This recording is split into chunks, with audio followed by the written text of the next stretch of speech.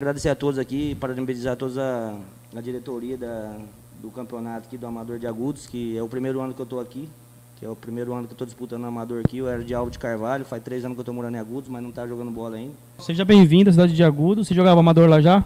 Não jogava não, eu fui já profissional já no profissional, joguei na categoria de base do MAC lá em Marília. lá, Certo, sei se aham, conhecem sim, lá. sim. Eu joguei no São Bento também, mas aí eu não segui firme na, no futebol. Aí hoje eu sou competidor em torno de rodeio, até montei no rodeio de Agudos aqui também. Ah, que legal. Joguei Barreto já. Dois esportes, então, Júlio. É dois É, esportes. dá pra ter- dá pra ter assunto, hein? é, o rodeio é esporte também, né? É, rodeio é é considerado esporte. Legal. Muito isso aí, né? Isso é, é bom, né, cara? Principalmente você que era de fora, né? Talvez, não sei se você tem parente ainda. Não, não- lá na minha cidade não, já não, não tinha isso, Aham. o que Agudos está tendo aqui, que Bauru tem, sabe? Eu acho lindo de ver isso.